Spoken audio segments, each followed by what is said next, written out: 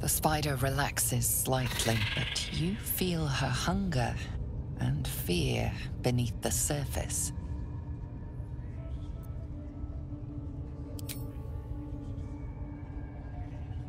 She scuttles toward the door.